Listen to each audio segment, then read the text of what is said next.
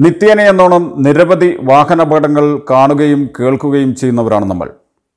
അശ്രദ്ധമായി വാഹനമോടിച്ച് അപകടമുണ്ടാക്കിയതിനു ശേഷം വാഹനം നിർത്താതെ കടന്നു കളയുന്ന സംഭവങ്ങളും ധാരാളമുണ്ട്.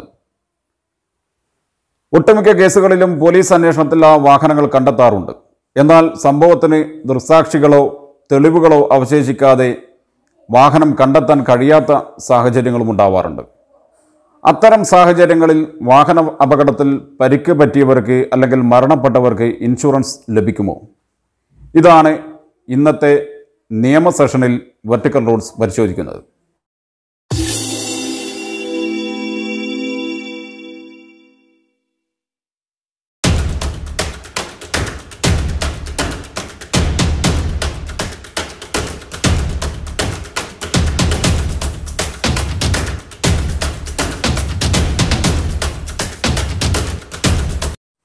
ഇത്തരത്തിൽ വാഹന അപകടങ്ങൾ ഉണ്ടാകുമ്പോൾ സാധാരണഗതിയിൽ നമുക്കറിയാം അപകടമുണ്ടാക്കിയ വാഹനത്തിന് ഇൻഷുറൻസും ഓടിച്ചയാൾക്ക് ഡ്രൈവിംഗ് ലൈസൻസും ഉണ്ടെങ്കിൽ പരിക്ക് പറ്റിയ അല്ലെങ്കിൽ മരണപ്പെട്ടയാൾക്ക് ഇൻഷുറൻസ് ലഭിക്കും. എന്നാൽ ഹിറ്റ് ആൻഡ് റൺ കേസുകളിൽ ഇത്തരം വാഹനങ്ങൾ കണ്ടുകിട്ടാതെ വരികയും അതുകൊണ്ട് തന്നെ ഇൻഷുറൻസ് ലഭിക്കാതെ പോവുകയും ചെയ്യുന്ന സാഹചര്യമുണ്ട്. കാരണം നമ്മളൊക്കെ വാഹനങ്ങൾ ഉപയോഗിക്കുന്നവരാണ്. നമ്മുടെയൊക്കെ വാഹനങ്ങൾ ഏതെങ്കിലും ഒരു ഇൻഷുറൻസ് കമ്പനിയിൽ നമ്മൾ ഇൻഷൂർ ചെയ്തിട്ടുണ്ടാവും. എന്നാൽ ഹിറ്റ് ആൻഡ് റൺ കേസുകളിൽ ഇത്തരം വാഹനങ്ങൾ കണ്ടുകിട്ടാതെ വരുന്നതോടുകൂടി ഏത് ഇൻഷുറൻസ് കമ്പനിയാണ് ഈ ഇൻഷൂർ തുക നൽകേണ്ട ബാധ്യതയുള്ളത് എന്ന് കണ്ടെത്താൻ കഴിയാതെ പോകും.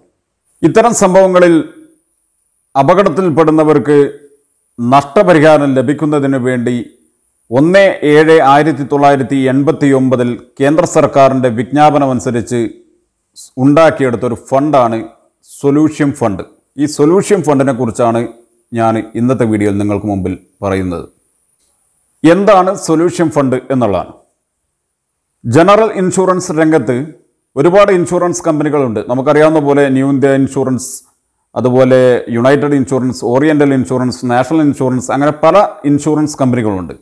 ഇങ്ങനെ ജനറൽ ഇൻഷുറൻസ് കമ്പനികളുടെ ഒരു കൗൺസിൽ ജനറൽ ഇൻഷുറൻസ് കൗൺസിൽ ഓരോ ഇൻഷുറൻസ് കമ്പനിയും ഒരു നിശ്ചിത തുക ഈ ഫണ്ടിലേക്ക് നൽകണമെന്നാണ് പറയുന്നത്. അങ്ങനെ കൂട്ടി ഉണ്ടാക്കുന്ന ഒരു ഫണ്ടാണ് ഈ സൊല്യൂഷൻ ഫണ്ട്. ഓരോ ജില്ലയിലെയും ജില്ലാ കളക്ടർമാർക്കാണ് ഇതിന്റെ നിയന്ത്രണാധികാരങ്ങൾ ഉള്ളത്. അവരാണ് എത്ര രൂപ നൽകണം എന്നുള്ള ഉത്തരവ് നൽകുന്നതും ആ ഉത്തരവ് അതാത് ജില്ലകളിൽ ഈ സൊല്യൂഷൻ ഫണ്ട് കൈകാര്യം ചെയ്യുന്ന ഇൻഷുറൻസ് കമ്പനിക്ക് നൽകുന്നതും. കേന്ദ്ര സർക്കാർ വിജ്ഞാപനം അനുസരിച്ച് രാജ്യത്തെ എല്ലാ താലൂക്കുകളിലുമുള്ള ക്ലെയിം എൻക്വയറി ഓഫീസർക്കാണ് നമ്മൾ അപേക്ഷ നൽകേണ്ടത്.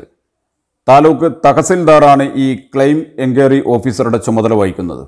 അപകടം നടന്നത് ഏത് താലൂക്കിന്റെ പരിധിയിൽ വെച്ചാണോ ആ താലൂക്ക് തഹസിൽദാർക്കാണ് നമ്മൾ ഈ അപേക്ഷ നൽകേണ്ടത് എന്ന കാര്യം പ്രത്യേകം ഓർമ്മിക്കുക. അപകടം നടന്നു കഴിഞ്ഞ് ആറ് മാസത്തിനകമാണ് നമ്മൾ ഈ അപേക്ഷ ക്ലെയിം എൻക്വയറി ഓഫീസറായ തഹസീൽദാർക്ക് നൽകേണ്ടത്. ഏതെങ്കിലും തക്കതായ കാരണങ്ങൾ ഉണ്ടെങ്കിൽ അത് തഹസീൽദാർക്ക് ബോധ്യപ്പെടുന്ന പക്ഷം മാത്രം ഒരു വർഷം വരെ നമുക്ക് ഈ അപേക്ഷ സമർപ്പിക്കാവുന്നതാണ്.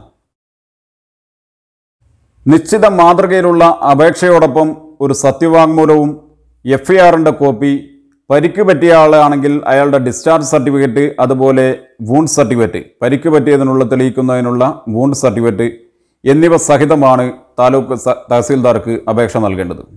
അപകടത്തിൽ മരണപ്പെട്ടവരുടെ കാര്യത്തിൽ അപേക്ഷയും സത്യവാങ്മൂലവും എഫ് ഐ ആറിന്റെ കോപ്പി അതുപോലെ പോസ്റ്റ്മോർട്ടം സർട്ടിഫിക്കറ്റിന്റെ കോപ്പി അതുപോലെ അനന്തരാവകാശിയാണെന്ന് തെളി തെളിയിക്കുന്ന ലീഗൽ ഹയർഷിപ്പ് സർട്ടിഫിക്കറ്റ് എന്നിവ സഹിതമാണ് തഹസീൽദാർക്ക് അപേക്ഷ നൽകേണ്ടത്. ആയിരത്തി തൊള്ളായിരത്തി എൺപത്തി ഒമ്പതിലെ കേന്ദ്ര സർക്കാർ വിജ്ഞാപനം അനുസരിച്ച് ഇത്തരത്തിൽ മരണപ്പെടുന്നയാളുടെ അവകാശിക്ക് ഇരുപത്തി അയ്യായിരം രൂപയും ഗുരുതരമായി പരിക്ക് പറ്റുന്നവർക്ക് പന്ത്രണ്ടായിരത്തി അഞ്ഞൂറ് രൂപയുമായിരുന്നു നിശ്ചയിച്ചിരുന്നത്. എന്നാൽ രണ്ടായിരത്തി പത്തൊമ്പതിൽ ഈ സംഖ്യ അപര്യാപ്തമാണ് എന്ന ഒരു ഹർജി ബഹുമാനപ്പെട്ട സുപ്രീം കോടതിക്ക് മുമ്പാകെ വരികയും സുപ്രീം കോടതി ഇക്കാര്യത്തിൽ കേന്ദ്ര സർക്കാരിന്റെ വിശദീകരണം തേടുകയുമുണ്ടായി. അത്തരത്തിൽ വിശദീകരണം നൽകിയ സമയത്താണ് കേന്ദ്ര സർക്കാരിന്റെ മുമ്പിൽ പുതിയ മോട്ടോർ വെഹിക്കിൾ ആക്ട് അതിന്റെ ഭേദഗതി ബില്ല് ലോക്സഭയുടെ അംഗീകാരം നേടിയിട്ടുണ്ടെന്നും രാജ്യസഭയുടെ പരിഗണനയിലാണെന്നും ആയതിൽ ഇത് സംബന്ധിച്ച് വ്യക്തമായ നിർദ്ദേശങ്ങളും ആനുപാതികമായ വർധനവുണ്ടാകുമെന്നും സോളിസിറ്റർ ജനറൽ ബഹുമാനപ്പെട്ട കോടതി അറിയി അറിയിക്കുന്നത്.